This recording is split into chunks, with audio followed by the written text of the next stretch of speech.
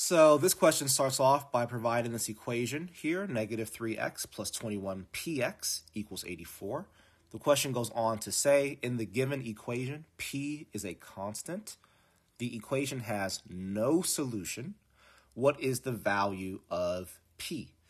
Okay, so um, I'm going to actually use a strategy here, plug in answers, right? Because instead of me trying to figure out what p is, I'm going to just use the values provided, and I'm going to use those values along with understanding that the equation has no solution.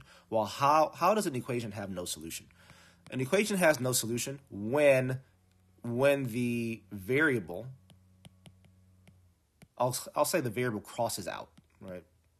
I could say eliminates, um, but the variable crosses out. So when I plug these possible answers in, for instance, if p were 0, what would happen? I'd have negative 3x plus 21 times 0 times x equals 84. Of course, this is all gone, but I still have negative 3x equals 84, which means I can find an x value, which means this is going to have a solution, right? So choice A is gone for that reason. And then for choice B, I would say, okay, well, that means I have negative 3x plus 21 times 1 seventh x equals 84. And then again, negative 3x. 21 times 1 over 7th is, you know, treat that like 21 over 1.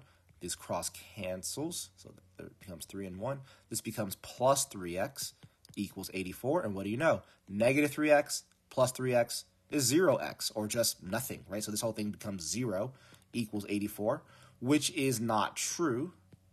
Um, and also reminds me of the second part of what of what we should expect when we have no solution. The variable crosses out, as we saw here, the 3x and the negative 3x, and the remaining is false. Which is what exactly what we see here, right? What remains, 0 equals 84, is actually false. 0 does not equal 84. So our correct answer here is choice.